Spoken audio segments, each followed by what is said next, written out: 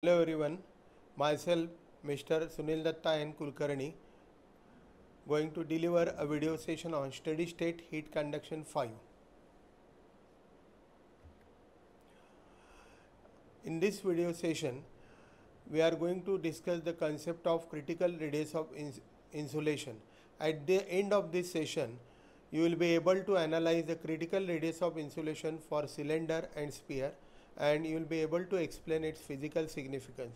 Also, you will be able to derive the equation for critical radius of insulation for cylinder and sphere. The contents of this video session are critical radius of insulation for cylinder and sphere and physical significance of critical radius of insulation. Now, when we talk about the critical radius or thickness of insulation, as we are aware that the insulation is used to reduce the heat loss by conduction and convection. So, it is very natural to expect that more insulation we put, the lesser will be the heat loss from the surface. But it is not always true that addition of insulation will reduce the heat loss.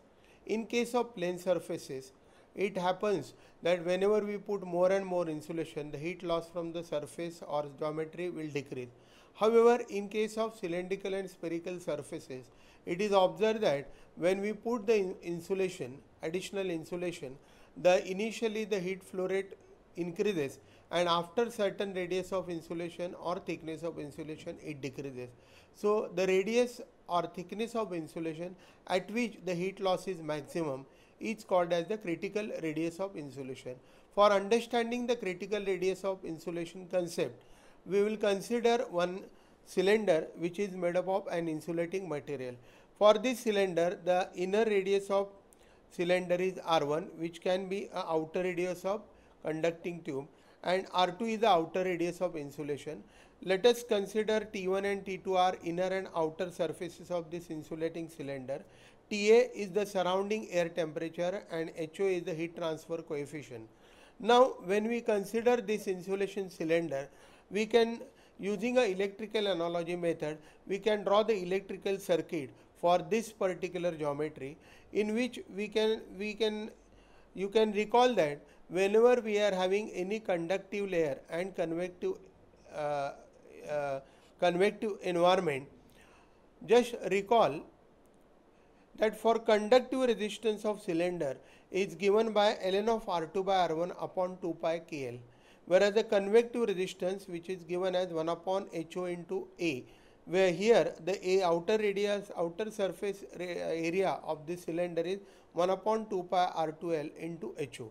So we are having in the electrical circuit two resistances one is called as the conductive resistance and other is called as the convective resistance this conductive resistance or resistance due to insulation is nothing but a material resistance which is expressed as ln of r2 by r1 upon 2 pi kl whereas the convective resistance can be considered as a surface resistance which is equal to 1 upon 2 pi r2l into ho now if we observe when we put more and more insulation from the equation of this particular material resistance as the R2 will increase with the addition of insulation outer radius will increase the material resistance will increase.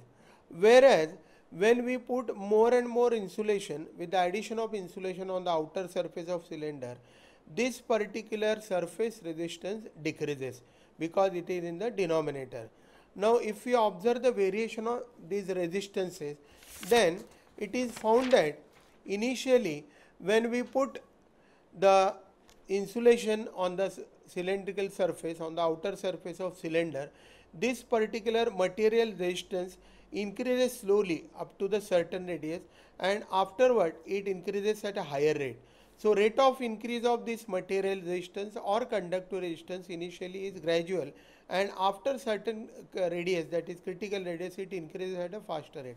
Whereas the surface resistance relatively decreases at a faster rate up to in, in uh, up to critical radius and after critical radius it decreases slowly. So, effect of these two is that the equivalent resistance which is the equivalent of uh, material resistance and surface resistance it decreases initially up to the critical radius and after critical radius it goes on increasing. So net effect on the heat flow rate through the insulating surface is that up to critical radius of insulation the heat flow rate goes on increasing. At a critical radius where the equivalent resistance is minimum as we can see from this figure at this critical radius the heat flow rate from the surface is maximum and this radius or thickness of insulation we call it as either critical radius of insulation or critical thickness of insulation. Now when the insulation is further added beyond critical radius we find that this particular heat flow rate will go on decreasing. Now if you observe this concept of critical radius of insulation can be used with advantage under two circumstances. Firstly, in case of steam carrying pipes, our aim is that we want to reduce the heat loss from the steam pipe. In that case, we should always keep the outer radius of insulation that is R2 greater than critical radius of insulation so that the heat loss from the steam carrying pipe can be reduced. Whereas in case of electrical conductor, the, the heat is generated due to flow of current which is given by Qg equal to I square R where I is the electrical current in amperes and R is the electrical resistance in ohm. Now in case of electrical conductor whatever heat is generated due to passage of current it should be dissipated as fast as possible to increase the life of conductor and to maintain the temperature of conductor steady.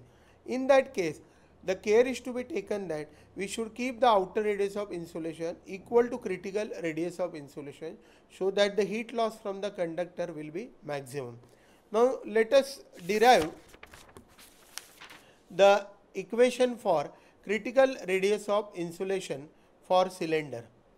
Now as we have seen in the earlier figure Considering the same geometry, we can derive the critical radius of insulation for cylinder.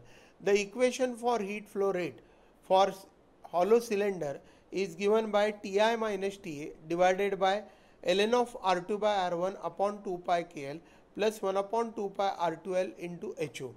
Now this first is the material resistance as we have discussed earlier and this is the surface resistance that is convective resistance which is which can be modified as taking 2 pi l common in the denominator and we can take it into the numerator. So we can write the equation for Q equal to 2 pi L Ti minus Ta upon ln of R2 by R1 upon K plus 1 upon R2 into HO. Now as we are aware that the heat loss from the surface is maximum at critical radius. So in order to obtain the equation for critical radius, we have to differentiate this equation by with respect to R2 assuming the inner surface temperature, ambient air temperature, length of the cylinder, inner radius R1 and thermal conductivity of the material as constant. When we differentiate this equation with respect to R2 and equating to 0, now we will get the equation for critical radius. However, as the numerator in this equation is constant, we will differentiate the only denominator and equate it to 0.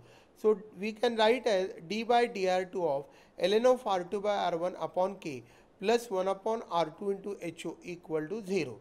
So we know that the differentiation of ln of r2 by k will be equal to 1 upon r2 into k minus the differentiation of ln of r1 by k as r1 and k we are considering constant it will be 0 so we can write directly ln of R2 by K minus differentiation of 1 upon R2 into HO equal to 0 is given by minus 1 upon R2 square into HO and equal to 0.